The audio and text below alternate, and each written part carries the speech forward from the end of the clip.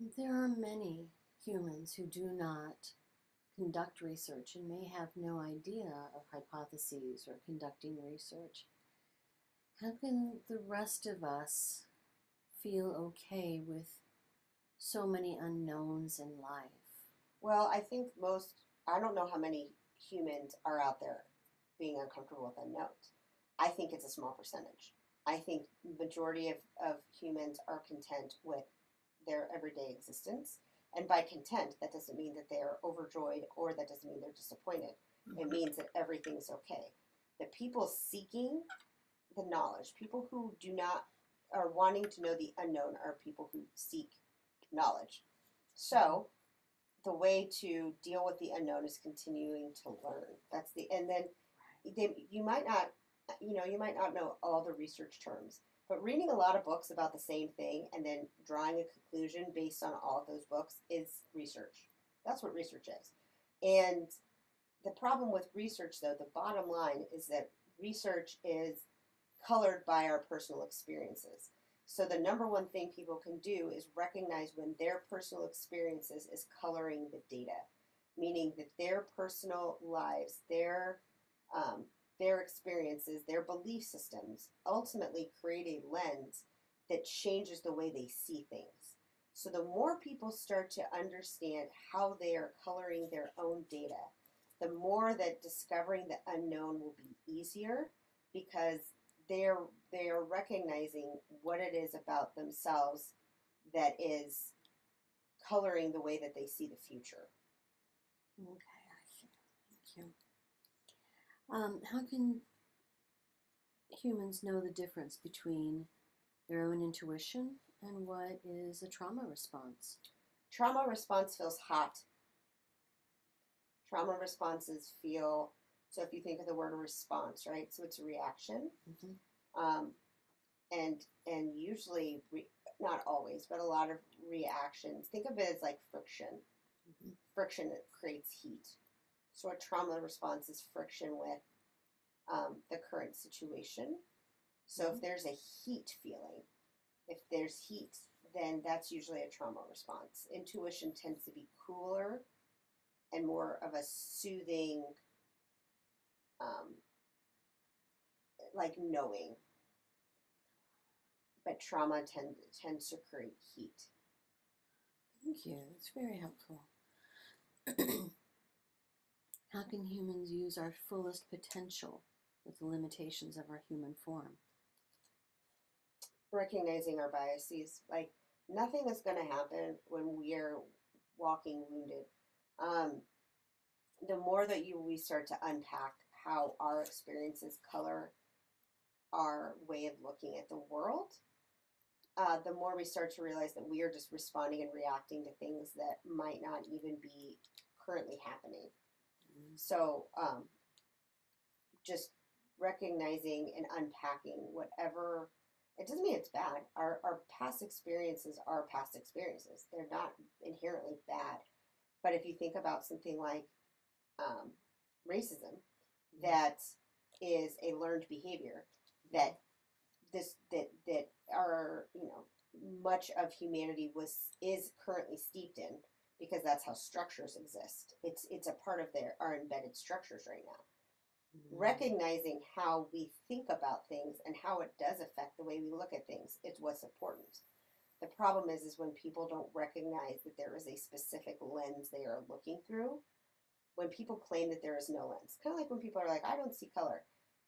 That's that's you, that's not true. You do see color because mm-hmm. unless you are colorblind like you do mm-hmm. see that people have different shades of skin. So that is not that is that is claiming that you don't have a lens that you are looking through when we all do.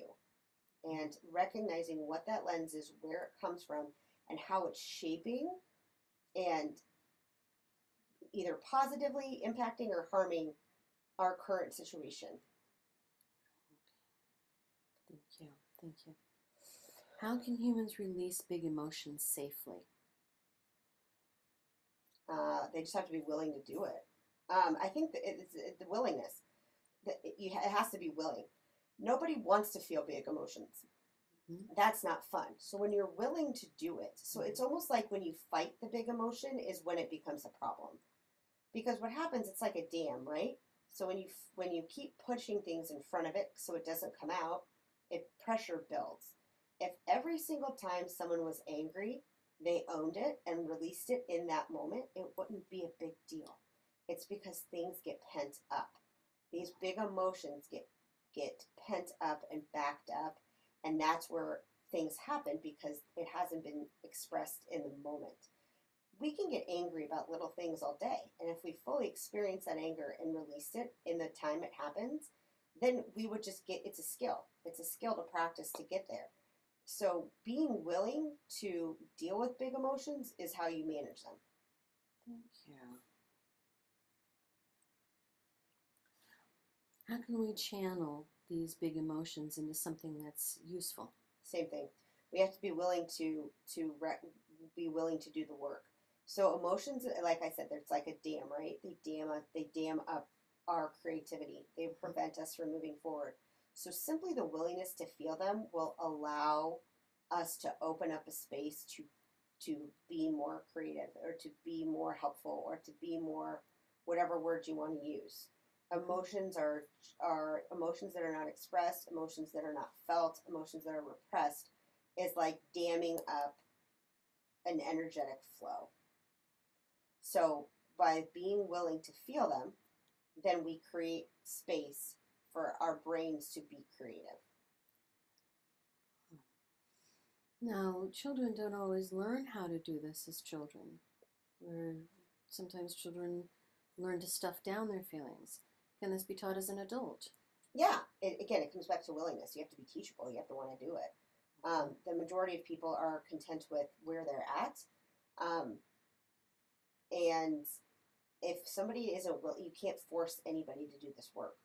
It has to be individual, which is why nothing big will ever change because everybody has to be willing to do that work, and you cannot force that work. You cannot force willingness. Um, you cannot force reflexivity, and until people are in enough pain that they want to change, they won't change. Mhm. Okay, thank you. so that naturally leads to my next question about the human experience. What role does this painful human experience have in ascension? You have to be willing. You have to be willing. So, so that seems like the the word is willing. Um, you have to be willing to be feel fully human, and to be fully human is to feel the full range of emotions. If you think about what separates human from animal, humans are animals, but why are they different, right? What makes things different? I'm not saying animals don't experience emotions because I'm pretty sure that they do, but the wide range of human emotions, all of them, um, is is the human experience. So if you're not willing to sit in all the stuff, all the stuff, Mhm. Um, then you'll never fully be human. You won't. Now, does it happen? Is it does it happen in every lifetime? No. It might be one lifetime you learn to manage one emotion, or one lifetime is you're not dealing with emotions. You're dealing with survival. But the the full human experience is is to deeply feel, um, and not let it swallow you whole and to feel and to release and to feel and release and feel and release. It's supposed to be movement. It's supposed to be um, fluid, and it's what it's become is that it, we feel, and then it's almost like we create a little like case around that, and then we feel again, and we create another case. So we just have this thick layer of of uh, protectiveness around an emotion, and this emotion is like a ticking time bomb. And it could be any emotion. There's tons of them. It could even be joy.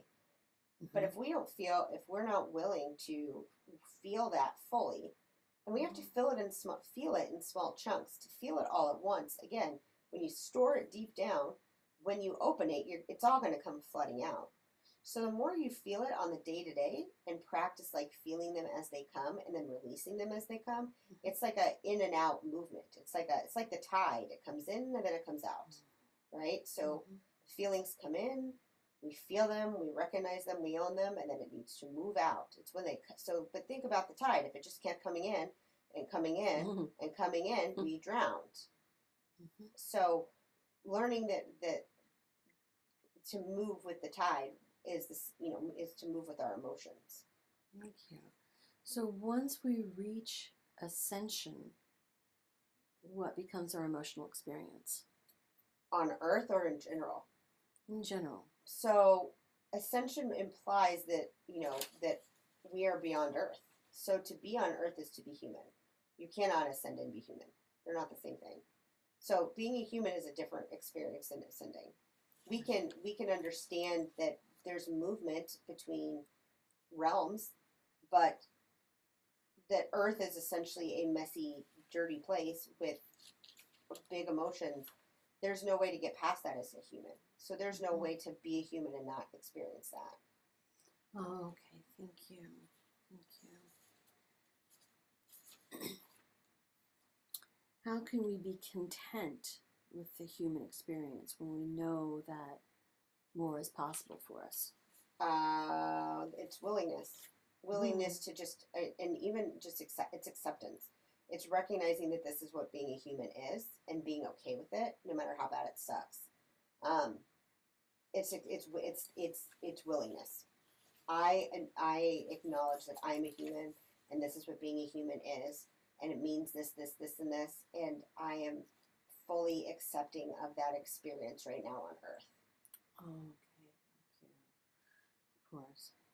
Um, and then I have a question about the emotion of rage. This is a very difficult emotion for humans. How can we safely release rage? We need to let kids throw fits. Mm-hmm.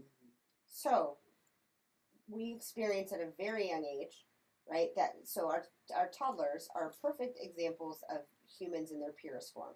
You want to see the purest form of a human? Hang out with the toddler. They experience all the emotions. They will go from crying hysterically to laughing hysterically to falling asleep. Like they do it all. They are the perfect encapsulations of the human experience, our toddlers, Mhm. ages two to four. And we as a society shut it all down. We want them to be quiet. We want them to sleep. We want them to not make messes. We want them we want we try to fit children into an, a human world at a very young age or at an adult world at a very young age. We have got to let kids feel their feelings no matter how uncomfortable it is for adults. And we have to li- teach them to do it safely. When you shut down a 4-year-old screaming about wanting something and not having it, there's a difference between like letting them, you know, again, we want them to be able to safely experience that, but they're not going to, again, it's bottled up, right? It's a bottled up mm-hmm. situation.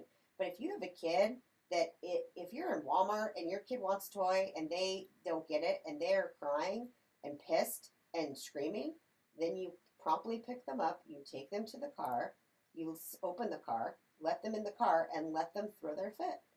And let them feel their feelings and assure them that you are there for them and that when they are done that you are happy to help them. And how can you help them right now feel these big feelings? Letting kids feel them at a young age. When we shut that down when we're young we are teaching them that those that way of feeling is not okay. When we hit kids that are throwing a fit we are teaching them that when we they feel certain feelings they will be punished for it when we ignore kids when we when we do when we do give them punishment for feeling big feelings we are just we are taking the human experience away from them Thank you. Is there anything else that we need to know about the human experience or how we move through it? well nobody really does it well because that's part of being a human mm-hmm. So there's no way to really perfect it because being a human is imperfect. So just the acceptance of that this is what humanity is. That doesn't mean we can't strive for better in every situation, but also knowing that this is what humanity is. And until we figure out a way to let people fully experience the full range of emotions that happen as a as a human and teach them as a young age how to experience that, the problem is, is that if you teach a little four-year-old right now how to feel their feelings, they grow up to an adult, and what's going to happen is that they're going to be at a meeting with their boss, and they're going to go, and the boss is going to say something, and that child has been trained to feel their feelings and express it, right? So the boss is going to say something, and that person across from the boss is going to go, that was really hurtful to me, and I really need some time to process this, and I can't be around you right now, and walk out. Does that work in a workplace? No, because that's not how our society is set up. We don't set up to for people to fully express their emotions because it makes mm. most of us uncomfortable. So until we create a societal structure that allows for that, and that we don't have a lot of hierarchies that basically shut that conversation down, nothing we we will continue where we're at.